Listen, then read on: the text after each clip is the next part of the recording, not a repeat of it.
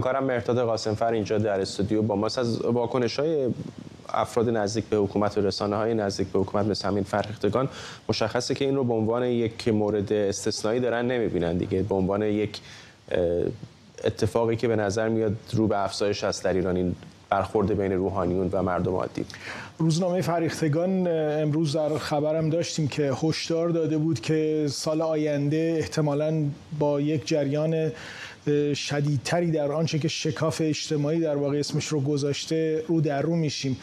غیر از این ما توی روزهای اخیر می‌بینیم که روزنامه های نزدیک به حکومت مثلا مثل همین فریختگان که مال دانشگاه آزاد اسلامیه یا روزنامه کیهان که به طور مشخص مال بیت رهبریه در یک هماهنگی و حجوم کاملا فکر شده و مشابه سعی کردن که یک سناریو سازی بکنن برای اتفاقاتی که داره میفته. واقعیت اینه که جمهوری اسلامی بعد از خیزش 1401 دائم در یک وضعیت تدافعی بوده در برابر جامعه. یعنی افکار عمومی رو مشخصه که به طور کامل از دست داده. جدا از اونهایی که حالا حاضرن مشخصا درگیر بشن با نیروها نیروهای سرکوب بسیاری از مردم هم می‌بینیم در سکوت در واقع همدلیشون بیشتر به سمت کسانی است که روبروی نیروهای سرکوب میستن یا مثلا تو جریان آخوند درمونگاه قوم این کاملا مشخص بود که کسی متعرض اون خانم نشد.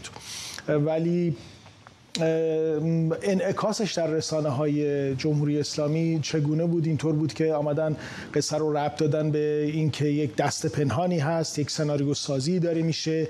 رسانه های خارج کشور رو متهم کردن پای موساد رو کهان کشید وسط و در واقع سعی کردن که اینو حاصل یک اتفاقی به نام شکاف اجتماعی بدونن. شکاف اجتماعی هم می‌دونیم که اسم رمز در واقع شکاف هرچی بیشتر شکاف عمیق‌تر شدن شکاف بین مردم از یک طرف و حکومت جمهوری اسلامی. به نظر می‌رسه ولی بازی رو دارن میبازن دیگه. فقط هم در یک درمانگاهی در قم نیست. در خیابان‌های تهران هم می‌بینیم زنان مختلفی که الان دیگه خیلی به نظر میاد با شجاعت بیشتری از حقوقشون دفاع می‌کنن.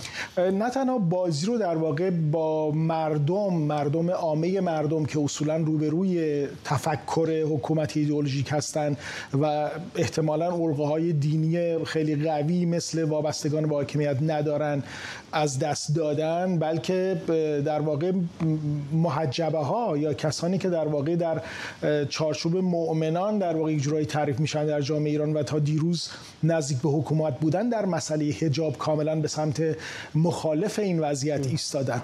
و برای این کاملا میشه گفت جمهوری اسلامی که یک روزی فائل این میدان بود امروز تمام رفتارهاش و تمام سیاستهاش و حتی نوشته های رسانه ایش یا حتی همین امروزی که این گروهی که فرستان در خیابان در خیابان پاستور و درگیر شدن حالا مثلا با نیروی انتظامی همین هم یک رفتار دفاعی بیشتر. ممنونم از تو همکارم مرتضی قاسم فر اینجا در استودیو.